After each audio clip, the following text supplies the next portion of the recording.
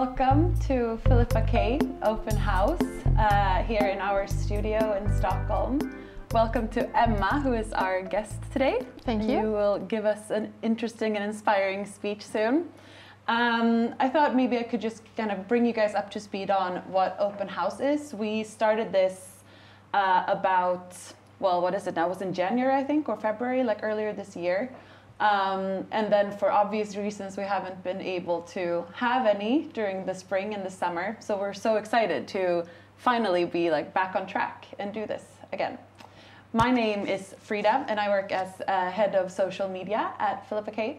Uh, and I will be your host today, I guess, and talk to you, Emma. Yes. Yes. Do you want to introduce yourself a little bit? Of course. My name is Emma Svensson, and I'm a photographer, entrepreneur, and alpine climber. And I feel so fancy today in this suit because usually this is not what I'm wearing. well, you can see like on the image here, that's Yeah. that's you, and then seeing you here is like, is That's this not- the same person? That's not usually what I'm wearing either, actually. but I do spend like 50% of my time uh, living in a tent on an expedition or in my van road tripping around in Europe climbing mountains.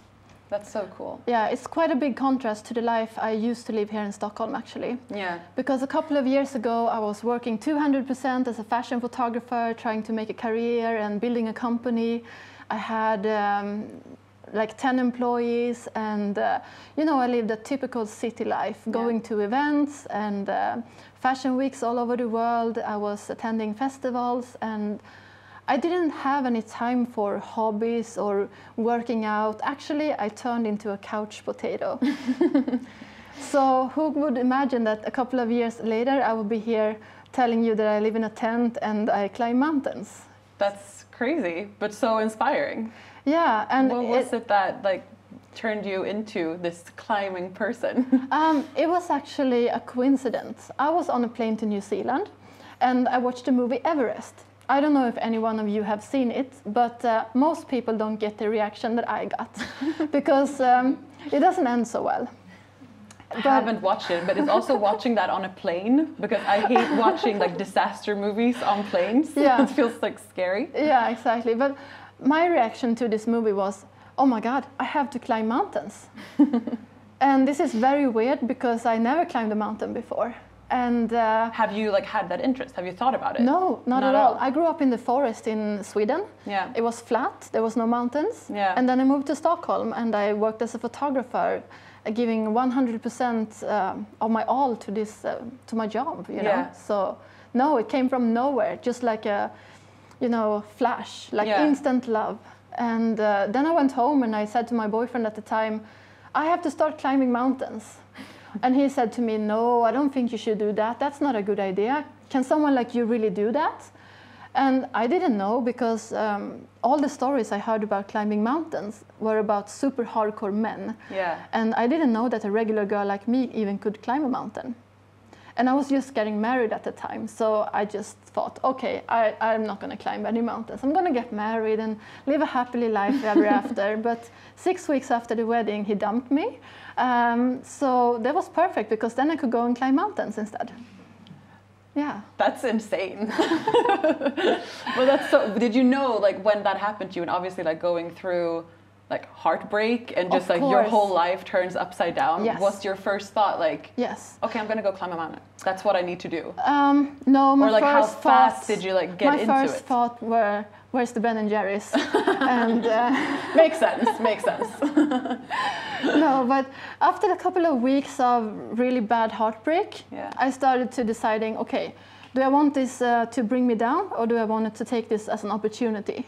And actually change my life and do something that I've been dreaming about, trying out that I haven't tried yet, and just change direction of my life a little bit. Yeah. So I decided to go climb mountains. I signed up for an expedition because I had no experience. I didn't know anything about climbing mountains, but that didn't stop me. I was just like, I'm going climbing mountains no matter what. But like, where do you start? Like just you Yeah. buy a pair of hiker boots and then you Pretty much, go yes. out. Yes, yes. But the thing is, I signed up for this expedition, and Yeah. then they send you some information like bring this, a backpack, hiking boots, Okay, wear yeah. these clothes, and then you go buy them, and then you go climb the mountain. And after that, I was just sold. I felt this is amazing. I have to do this more often. But it would take me about a year before I climbed the next mountain. Okay. And when I did that, I, it was the highest mountain in Europe, Elbrus. And when I came home from Elbrus, I was restless. So I was thinking, okay, what should I do now? And two hours later, I came up with the idea to go climb the highest mountain in every country in Europe. And to make it a little bit harder for myself, I decided to do it in less than one year. And what I didn't know about the, at this time was that the world record was two and a half year. So I was aiming, my ambition was pretty high. You have the world record now? I had it, but someone else took it. But it's Oh. okay. It's okay. so the, the picture though. you see on the screen right now, the one with me wearing a superhero suit, that's actually the grand finale of this project. When I climbed the last mountain, and it's from Sweden, from Kebnekaise. So I'm walking between the two peaks, the north and the south peak of Kebnekaise. That's amazing. I thought I was going to celebrate myself after actually doing this project. Yeah. But the thing is that when I got back home from this project, from being out climbing mountains for a year, I mean, I was home working in between, but it was more like, oh, what are you doing this weekend? Yeah, I'm going to Spain to climb a mountain. And then I went and I climbed the mountain and I came back home and I worked a little bit and uh, I did uh, two big road trips with my car and just driving around climbing mountains. Yeah. And when I was done with this project, it was just impossible to go back to my normal life. I had changed so much. The mountains had changed me so much. Being in this environment have changed my goals and who I am as a person and it made me become a better person, I would say too. Because Yeah. climbing a mountain is like meditating. Uh, you get alone time with yourself in the nature, in this big, amazing landscape, and you can't think about stuff happening back home. I didn't care about sitting front row in fashion weeks anymore, or having FOMO because I wasn't attending an event at Stureplan the same week, because my goal was just to get to the top and get down alive. Yeah. that was that was the thing you know? And um, you have to be super focused. Like every step you take you have to be super focused. And this makes you more patient. It makes you question your whole life back home actually. So when i got home i sold my apartment. I got rid of a lot of stuff that i owned like clothes and furniture because i was just disgusted by how much i've been consuming the last couple of years Yeah. and I started living in my van, uh, not all the time, but a lot of the time, just to be able to go around and climb mountains. And uh, I just changed my life, and it made me a better person, and I feel so much better as a person too. That's amazing. Yeah, it is. It is. But how like how does your life look like now? Like are you would you say that you live in Stockholm or are you like out, you know, traveling or I mean especially during this year when you yeah, haven't been able to travel. This year have been very special. Yeah. Of course, all the mountain plans were cancelled. Yeah. So I was thinking, okay, what can I do? Because in the beginning of uh, COVID-19, you weren't even allowed to travel within your own country. I was stuck here in Stockholm. So I climbed Everest in the local hill we have here. Hammarbybacken. Uh, Hammarbybacken. It's uh, 86 meters high. And I walked up and down 116 times to reach the altitude of Everest. That And- is some dedication. It's some dedication, yeah, but you have to do something, you know? yeah. And then this summer, I went to northern Sweden to discover a new area of my own country where I haven't been. And I climbed all the 2,000 meter peaks in Sweden. Just because. How many are there? It's just like 13, so it's not that many. That's still 13. yeah. But uh, tomorrow I go back to the Alps and uh, I'm going to train for my big project that I'm doing next year, which is to try to climb all the 4,000 meter peaks in the Alps together with a female climbing partner, also named Emma. Nice. Yes. Because I was going to ask you because you've done this, you've been by yourself. Yeah, I climbed a lot of mountains by myself. Yeah. But um, you can't always do that because it can be dangerous. Yeah. So actually, here's a photo of me and Emma. And it's very unusual with two girls climbing together. This world is very dominated by men. Yeah. Like if you go to a mountain hut, there's 90, 95% men. And as a girl, I get met uh, by people and they ask me, hey, where's your guide? And we're like, we don't have a guide, we climb by ourselves. Yeah. And they're like, oh, but where's your porter that carry your backpack? No, we carry it ourselves. yeah, but do you have all the equipment? Do you have a rope? Do you know how to do this? Um, it's a very strange world because Yeah. uh, it's not equal at all, and I don't see men get question get these questions that we get. So this is something that I really want to take with me from the mountains to inspire others, especially girls, that if I can do this, so can you. And of course, I'm trying to always challenge myself, and maybe I go a little bit crazy sometimes with my projects, but you don't have to. You know, you can put a bar anywhere you want. You don't have to be a professional climber to climb mountains. And I didn't know this when I started. So No. that's the story I really want to tell to people. How long ago was it that you started? Three years ago. It's only three years. Yeah. But I climbed a lot of mountains during Yeah. these three years. I was gonna say that's a lot to do in three years. Yeah. So as you can see in the photo, we are two people. Uh, we are a team. Because you can climb an easy mountain without glacier or without technical climbing by yourself. If it's just hiking on a trail, it's not a problem. But if you go into a big mountain, like you have the Mont Blanc in the background in this picture, if you want to climb that, you want to rope up together because you cross a glacier. And the risk with the glacier is that the glacier is moving with, and that creates crevasses and they can be endless. You can look down into one and you can't see the bottom. And if you fall down there, it's over. So what you do is you go together in a rope and if one person falls down, the other one have to hold that fall. Oh God. I Yeah. get sweaty just thinking about it. it's insane. Yeah. But how? So you have climbed some mountains with her before, and then you decided you wanted to do this project together. Exactly. Yeah. Because it's never been done by a female team before. No. An all female team. There's a few females who have done the project, but uh, only with other guys. yeah. So I really want to encourage people to come climb. And um, I mean, I think we need more role models that also we can identify with, that we can look up to and feel that it's not a profession. It's not Alex Honnold, the professional climber up here, and it's impossible for me to become him. Yeah. Uh, we need people at all levels to inspire us. That's a really important thing. So that's my goal to try to be someone who can inspire others and show people that you can also do this. I think you are already. I think you've that. That's a goal that you've achieved already for sure. But that's so cool. So that's when does that start? Tomorrow you go down and you just train. Yeah. okay. I And train for how for long it. do you train? So we're gonna start the project in mid-March next year.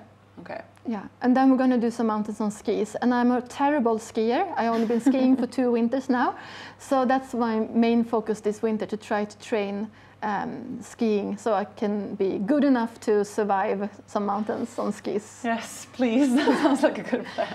yeah, because it's um, it can be quite risky when you're out in the mountains. If we take a look Yeah. at the next picture, you see me and another girl, Elin, um, climbing, and we're walking on a narrow ridge. And if any one of us slips and fall, the other person have to throw themselves on the other side of the ridge to try to save the other person's life. So it can be a little bit Is this, scary like, and does it- dangerous. Does it happen? That's what I'm like. Yeah, it happens. I almost died last year in a rock fall on a mountain actually. I got hit in the head by a big rock, like a meter high. I passed out, I fell down the mountain, and luckily my climbing partner was a strong guy who uh, reacted very fast and threw Yeah. himself on a rock and hold on for our lives. If he couldn't hold my fall, we would both be dead now. So, yeah. And, okay, so after you've experienced that, yeah. how do you continue? Like, I would That's just be crying and like take me home. I don't want to be here anymore. It was really important for me to not let this scare me off. Yeah. So the next week after this happened, I was already out climbing again. I couldn't go to the big mountains, but I was climbing on uh, walls in the valley, like just small cliffs. Yeah. Uh, I still had my concussion, but uh, I was in a rope, on a top rope, and I had a really nice friend taking care of me because I just wanted to get back on the saddle again Yeah. and not let this um, scare me away from the mountains. But of course, you become more careful after an accident like that. Because the most dangerous thing in the mountains is just rockfall, and that comes from the permafrost melting. The permafrost holds the rocks together, and when that melts because of global warming, Yeah. uh, the rock gets loose and it falls down, and then it brings other rocks with it. So it's like rock avalanches coming down all the time in the mountains, especially in the Alps. It's horrible. So scary. Yeah, super, super scary. Mm. And um, just this thing about living a life where you try to do your best to contribute to be sustainable is also something that has become important to me because after my 49 Peaks project, where I climbed the highest mountain in every country in Europe, um, I started a new project to try to become the first person in the world to climb the highest mountain in every country in America. But I decided to quit that project after one year because I couldn't motivate it. It was Having a selfish there, project. yeah. yeah, exactly. To travel, to have such a huge project on the other side of the world. So I wanted to focus my climbing to Europe the next couple of years to um, lower my impact Yeah. on my carbon emissions. Yeah. Yeah. But it's also I feel like when when you're doing this kind of thing, it is probably like the most sustainable, you know, activity that you could do because you're just like out in nature, like depending on of Yeah. course what you're wearing and all that stuff, Yeah. but still like you're out in nature, you you know, cook your food on your little stove somewhere where you're Yeah. camping and you know you have to melt snow to get water yeah, so you can eat something. exactly. Yeah. It's like peak sustainability, I feel like. yeah, yeah. And that's also a funny thing because I love that contrast that when you live in a tent for three weeks or more Yeah. and on an expedition, you don't even have a shower, and then you come home to your apartment and it's a totally different life. It makes you care less about consuming things, owning stuff, and uh, you know you don't care about the latest uh, designer bag or yeah. um, you don't need a car anymore and stuff like that. Yeah. So But how does that feel? Because I can imagine when you come home, like obviously you're you must be like physically drained coming home from a trip like this, of and just so tired, and then you come home Yeah. to your apartment. It is a different kind of life, obviously. Yes. Like how how do you handle those contrasts? Like how? Because I feel like I would go kind of crazy if I keep doing that all the time. You know? But for me, that's what makes me feel alive. Yeah. That's the thing. That's that contrast. Like, it feels like I'm constantly developing. I'm not in a rut. I don't do the same thing over and over again, month after month. Yeah. I try to follow my dreams and um, also try to balance it with the possibility to do it. Like I have to work still, you know. I have to go home and work in between to be able to go out there again. Yeah. Yeah. I think because that's also, I mean, just looking at these beautiful images, like Yeah. it's such a, it's like that you're a photographer. That must be such a treat when you do these Of kind of things as well. But what's really good about being in these environments is I don't have the pressure to take pictures because No. I'm a fashion photographer. I photograph people like lifestyle and fashion and portraits and commercial things. So when I'm out in the nature, I can do photography just for my own passion. I don't have someone who's paying me to do it. I don't have to deliver to a customer, to No. a client. Um, and that's something really amazing because you also have to like feed your creative soul uh, as a creator because otherwise you drain yourself. Yeah. So this is like giving me so much energy and so much inspiration. And always when I hike into a base camp, it can take three days maybe to walk into a base camp. You don't have cell reception, you don't have anyone to talk to. There's nothing except for you and the nature.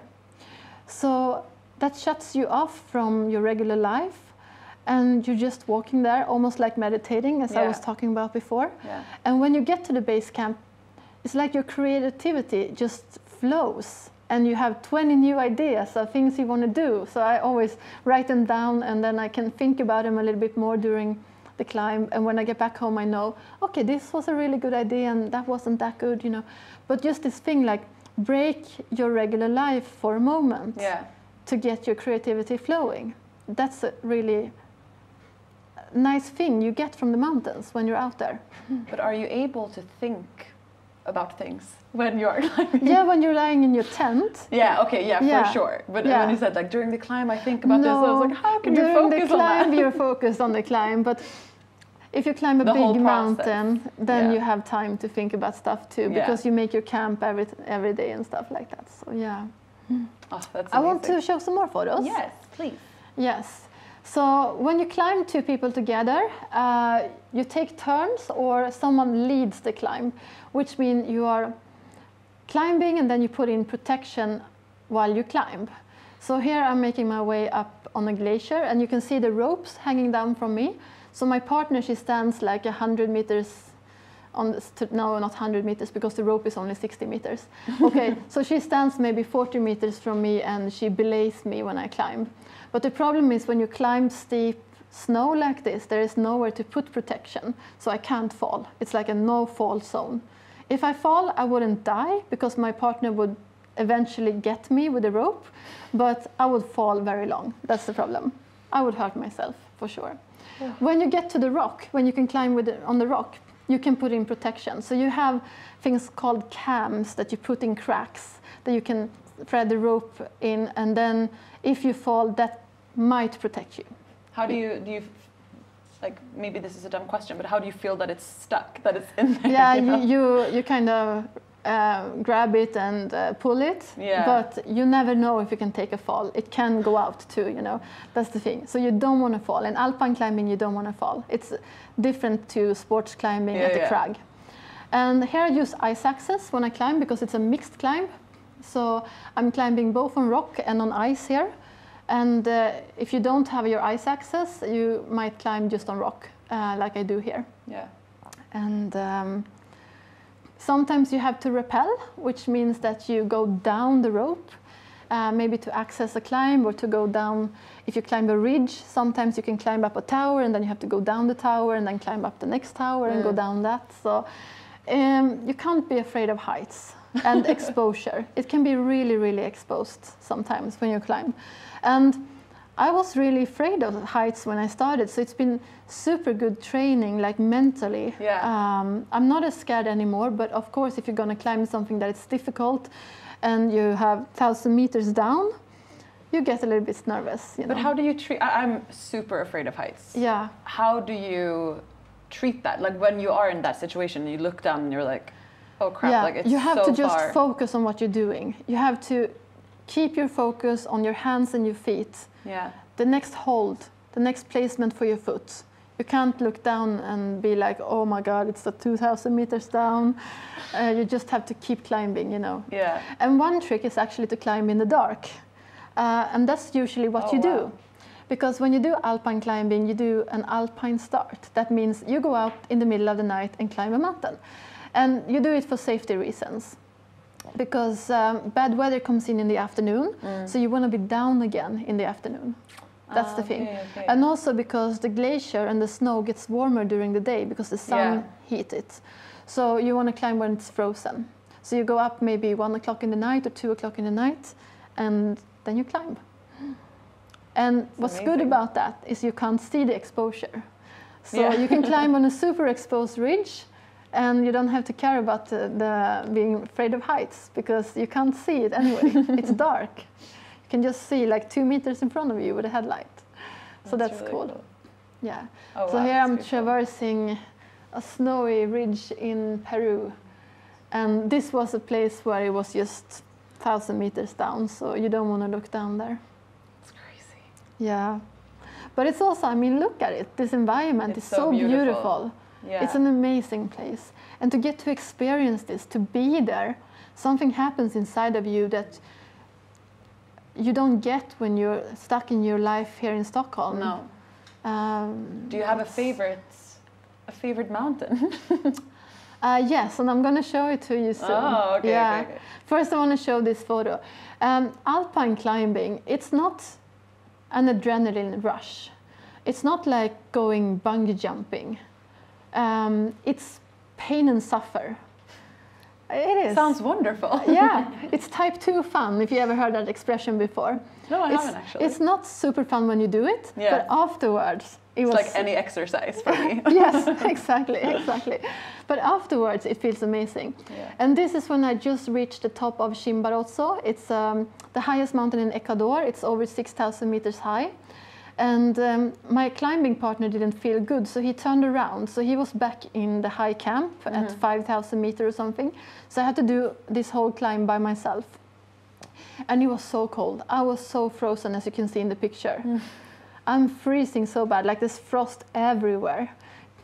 And in these moments, of course it's hard. Of Yeah. course you have to struggle with your motivation to take one more step to reach the summit. But you are so proud over yourself for doing that when you get back down. Like that you actually made it, that you pushed through and that makes you grow as a person. Yeah.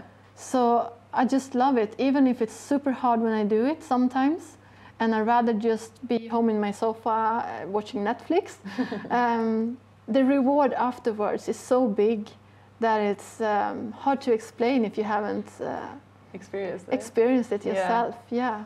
But do you feel that like if you if you have like a goal, so you have this mountain that you want to climb Yes. and then you do it and you Yeah. come like you come down, you come home and you're like, "Oh, okay, I've done it." You feel Yeah. great.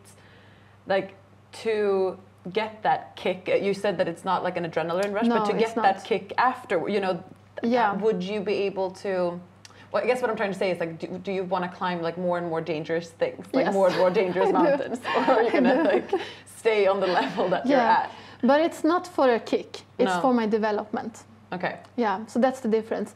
Um, I still feel like a rookie. I still feel like I'm learning all the time. Yeah. I make mistakes, I learn from them, and uh, I just want to become the best climber I can possibly be.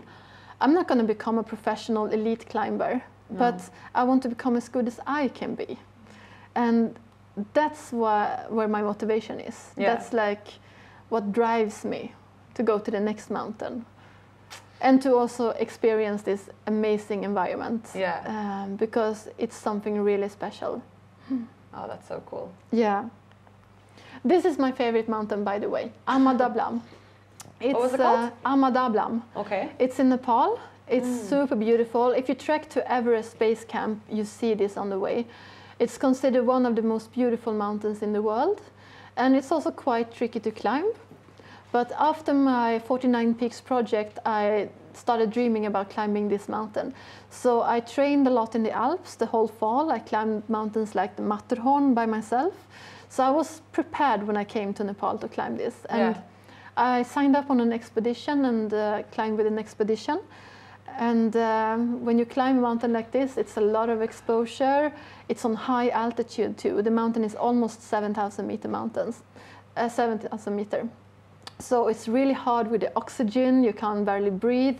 I remember the last 300 meters up to the top. Uh, you take 15 steps, then you rest one minute.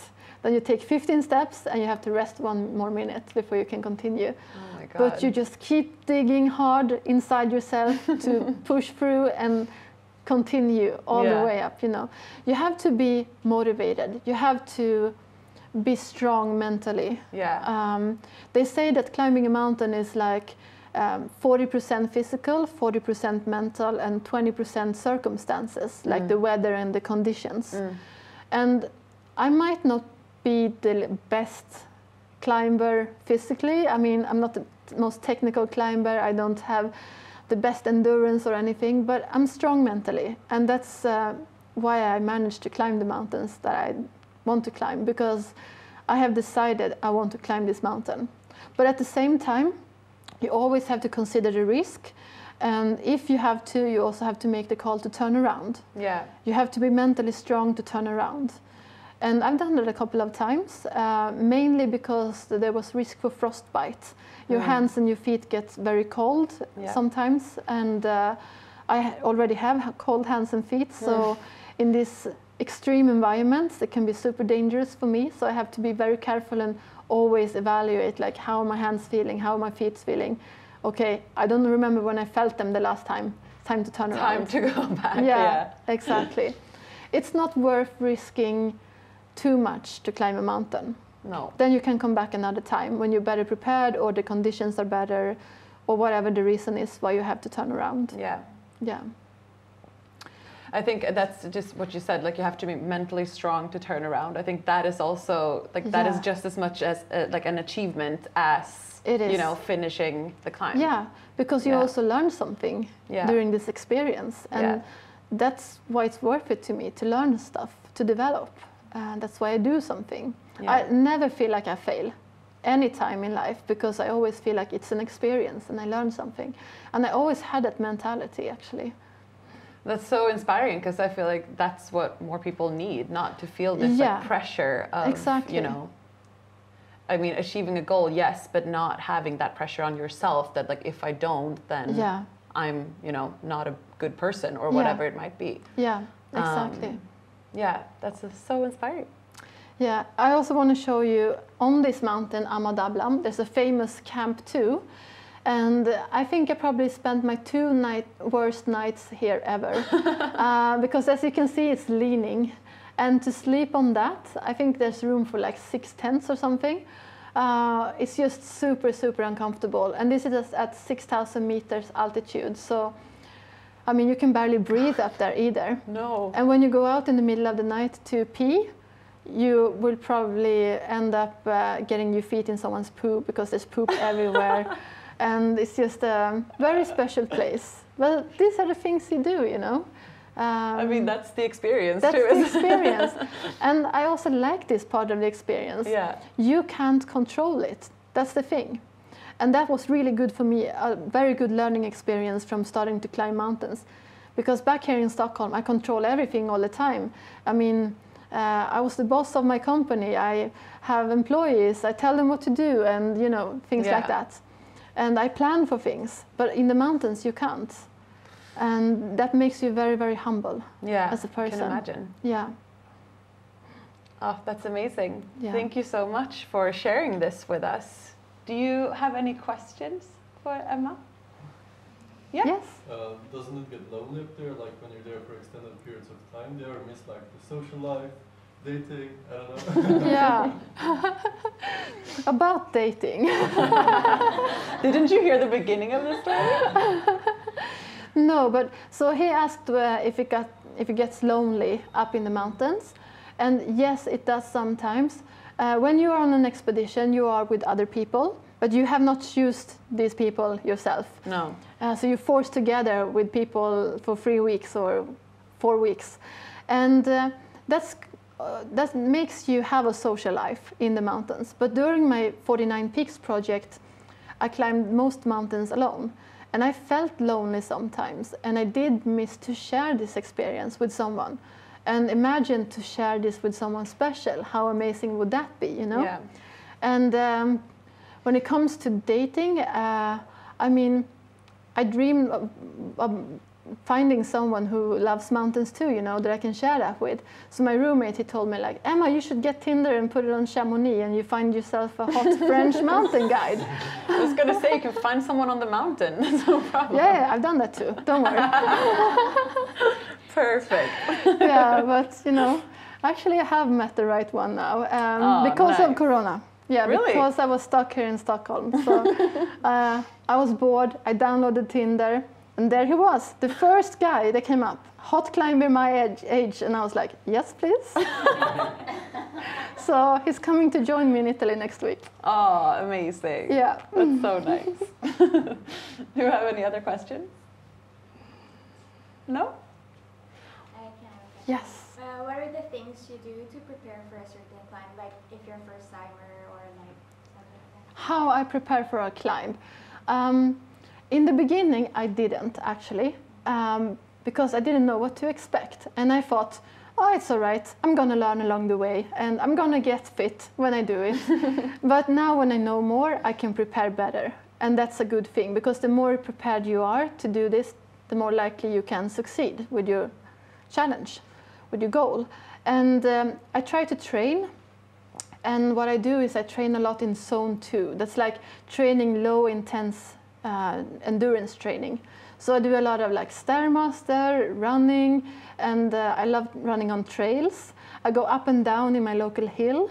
I do strength training to make sure that I don't injure myself, and also because it's hard on certain parts of your body to climb. Like going down the mountain, it's hard on your knees. So I train the muscles around my knees to Mm. make sure that my body holds for the challenge.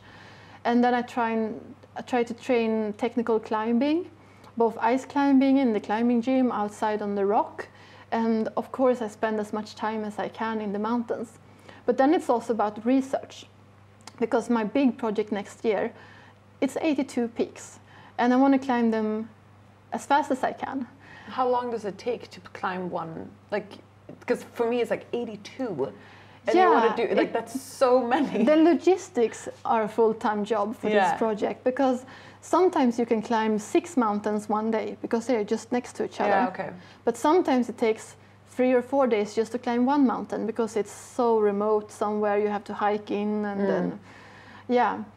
So we do a lot of research, me and my partner, and uh, we have made a plan like we can do this mountain on ski, we can do this mountain together with that mountain, and we start from this location and we sleep in this mountain hut and uh, yeah, research for the project, like which route are we going to take up and which mountains can we connect and uh, yeah, and then I try to um, also train stuff like uh, getting better at reading weather and conditions Yeah. and uh, rescue techniques and everything you need to know that it's good to understand and have skills in when you come to a mountain. Yeah. I think we have one more question here. Yeah. Oh, perfect. How do you do this financially? Like, do you get sponsored, or do you, like, how, how does it work out? Because you, you're telling us that you're working on a project during a whole year, but how do you Yes. make it work? Like, This is a really interesting question. So she asked, uh, "How do I do it financially?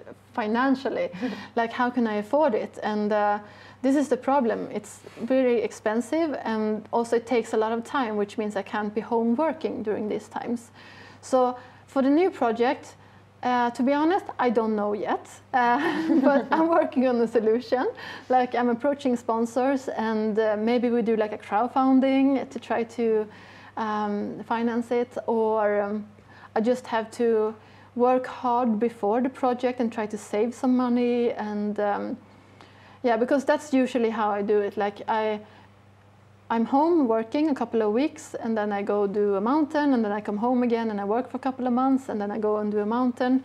But um, I. Um, I'm not a rich, wealthy person. I don't have money in the bank. I don't uh, have any savings. I, I don't have rich parents or anything. So it's a struggle Yeah. um, to be able to afford it.